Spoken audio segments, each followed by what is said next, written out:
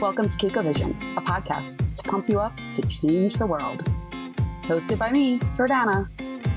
Let's get started. Hi, and welcome to Kakou Vision with Jordana.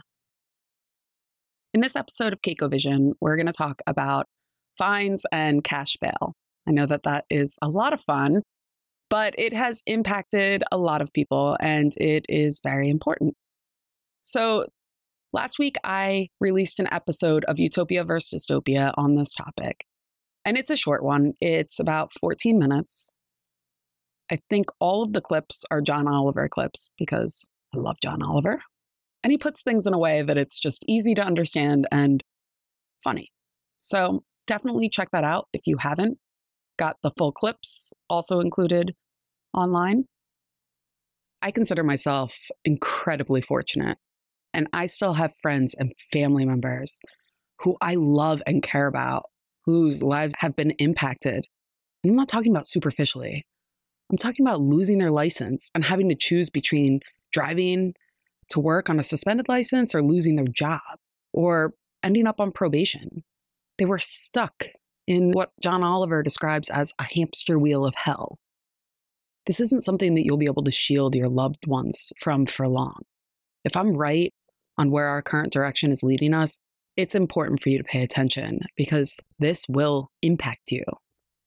If you watch these clips, it'll become clear that one person's inconvenience is another person's nightmare. And so many people live in fear. And this is why a lot of people fear the police because one incident could derail their lives.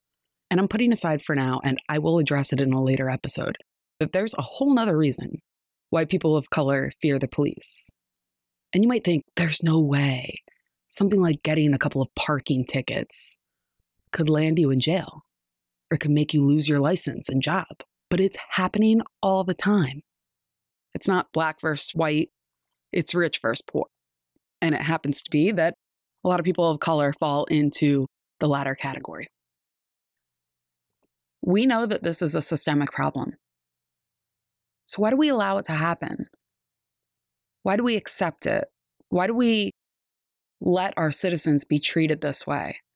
There are some towns that more than 50% of their income, of how they fund their government, is through fines.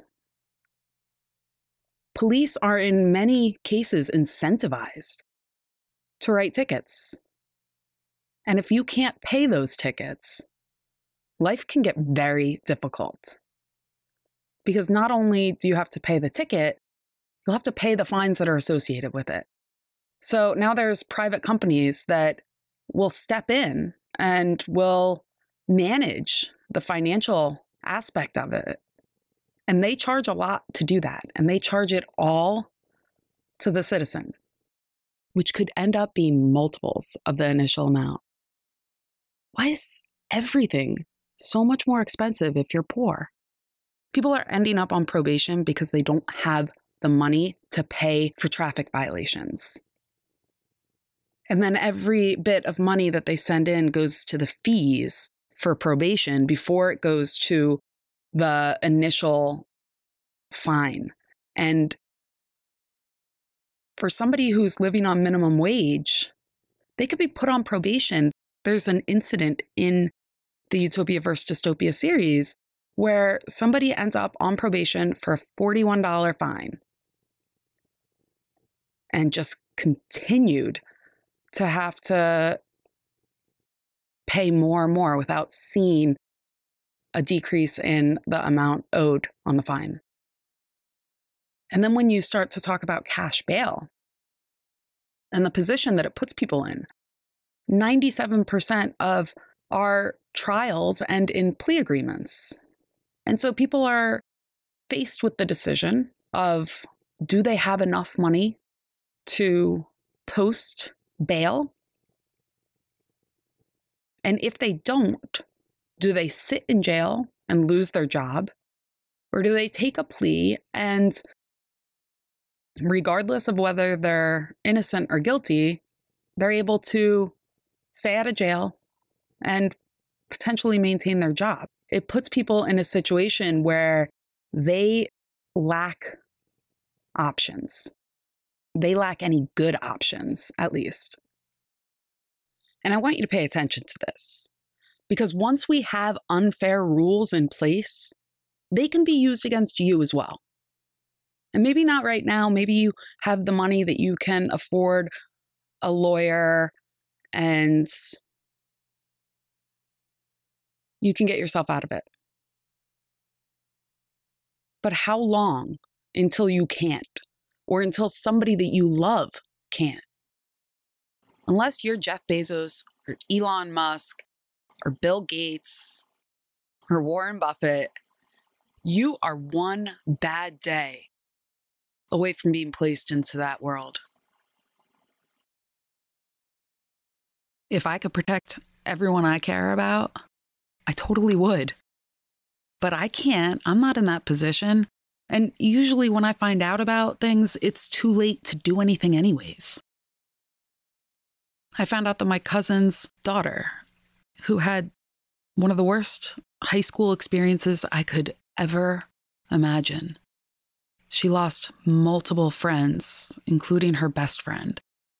She got a felony charge for weed as an adult, but still a teenager. It's a plant. It's a plant that's legal in the state of Pennsylvania where she lives.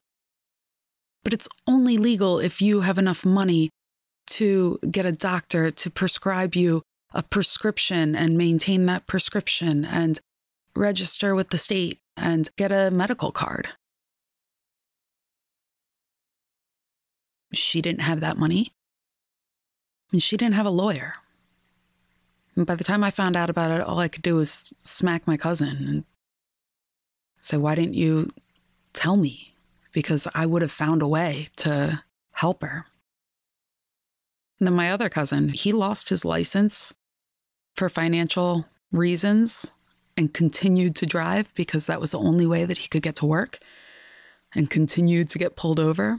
I don't know how long he lost his license for altogether, but it was years longer than if he was driving under the influence, but it was because he couldn't afford it. You should either think these rules are fair for everyone or they're not. And if you don't want to be in the situation that the people in this video are in, then now is the time to speak up. Because if you try to speak up when the injustice is, in, uh, is against you, you're going to lose. As my dad would say, it's going to be you versus the man, and you are going to lose. So we need to come together and say that this is unacceptable, that we are not okay with our government ripping off its citizens like this. If getting pulled over is an inconvenience to you and and that's it, you don't have to worry about where you're going to come up with money to pay a lawyer or to pay fees and fines and an increase in insurance premiums, if that doesn't if that's not a concern for you, you should consider yourself blessed. But even if that's not a concern for you, you are still affected always knowing that there is that second world that we could be thrown into at any moment. And if we get thrown into that world, our expectations versus our reality will crush us. And when I say us here, let me be clear because this is a podcast. I am talking about white America. The sad reality is that people of color, they expect this from us. They know how shitty this other world is. This world was created to exploit and to oppress them. And white America was okay with it.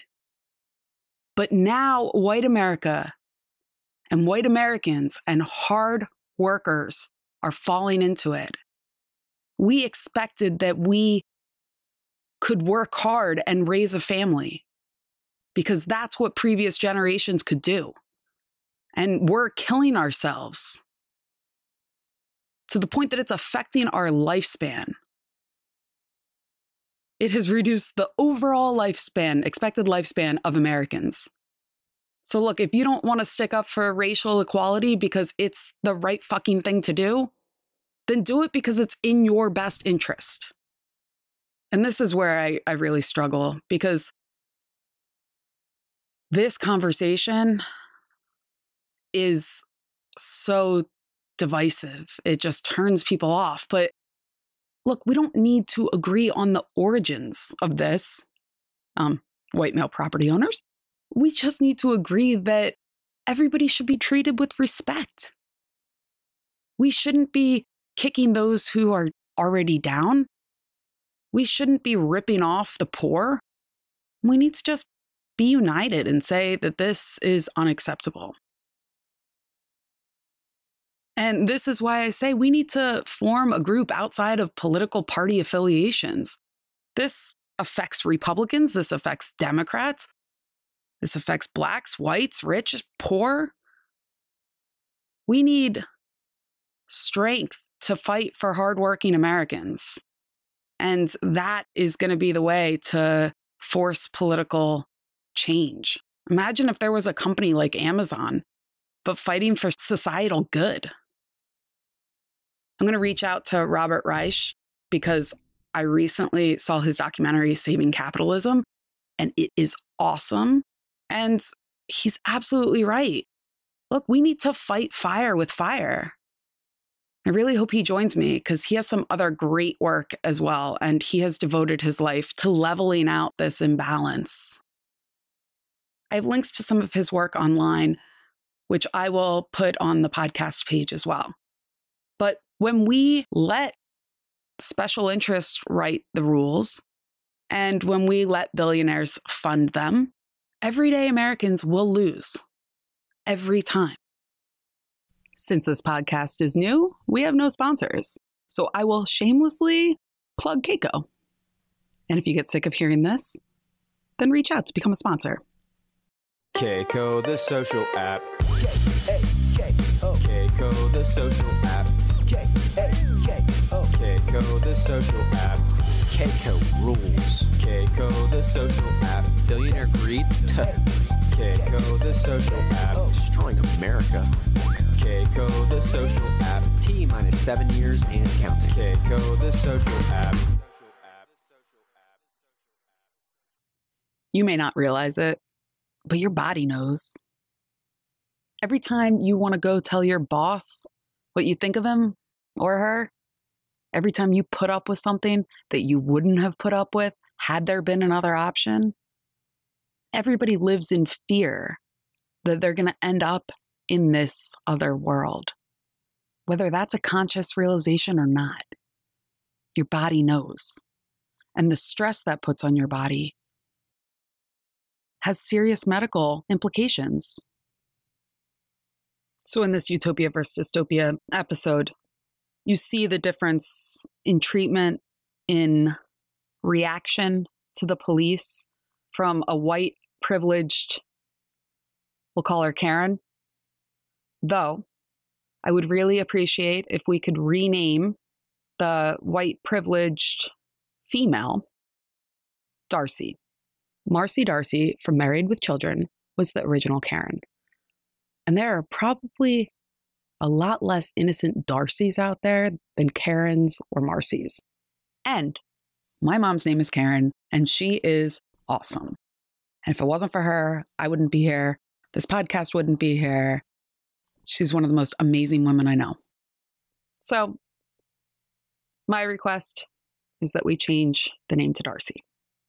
So, this clip goes from this Darcy who's giving a cop a hard time and trying to rush him along to a grandmother who was arrested for not paying parking tickets and wound up in jail.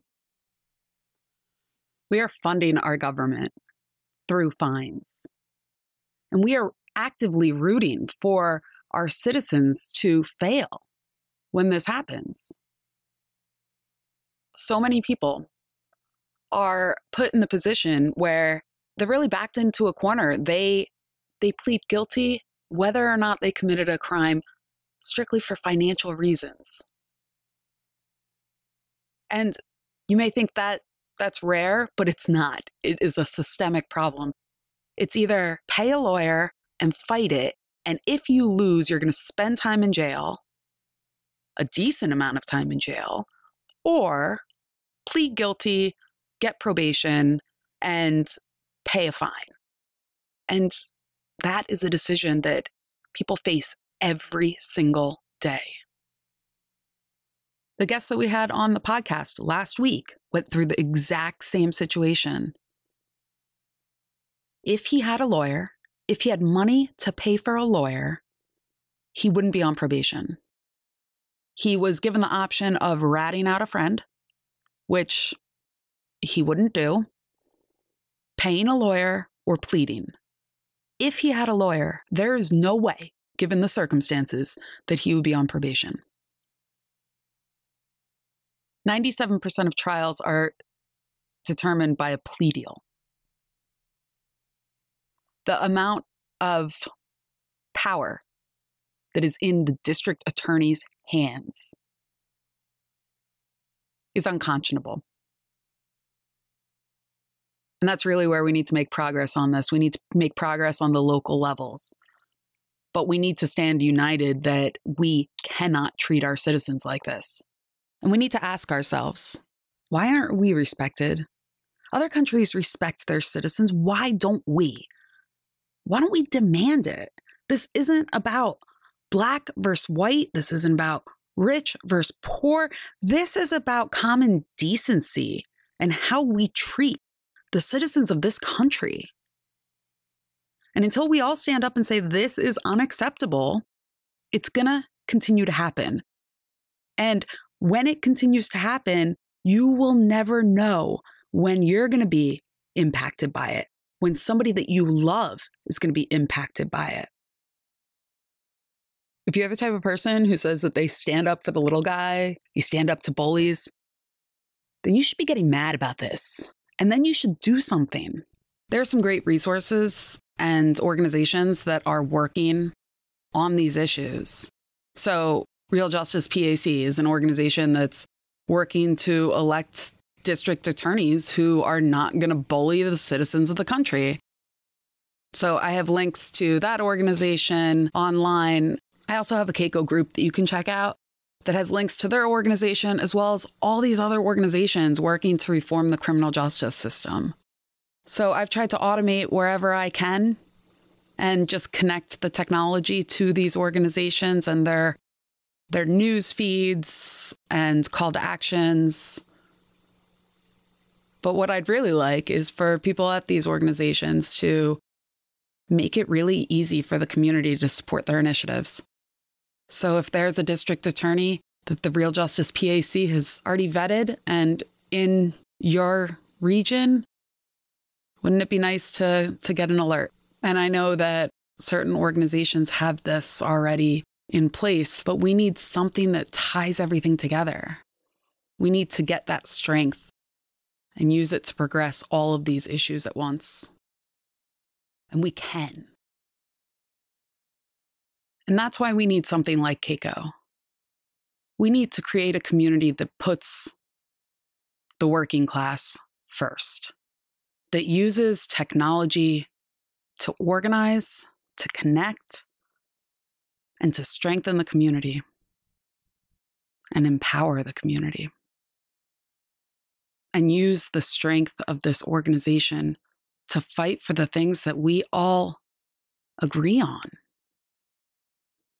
Because if you put aside party affiliation, there's so much that we can agree on. So if you haven't checked out the intro series to Kakou, definitely do that. That shares the backdrop to this vision and what it is I'm trying to do and why it's so important. Because we are we're at a turning point. And if you look at all of these graphs, they all show the same story. And the lines are only going one way, and that's the wrong way. And it doesn't matter who's been in office. So we can't expect that to just turn around on its own. We need to do something. And we need to do something now. So I hope you join me, download the Kakou app, connect with me, and let me know what you think.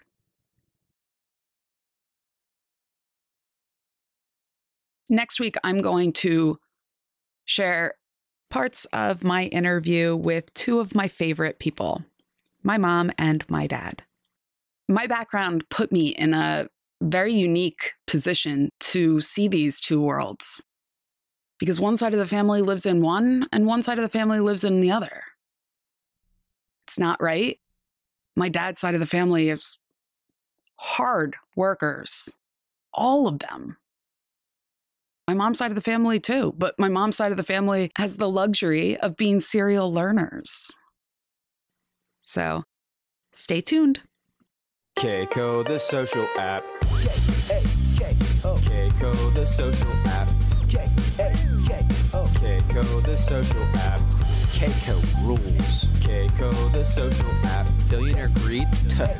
Kakou, the social app. Destroying America. Kakou, the social app. T minus seven years and counting. Kakou, the social app.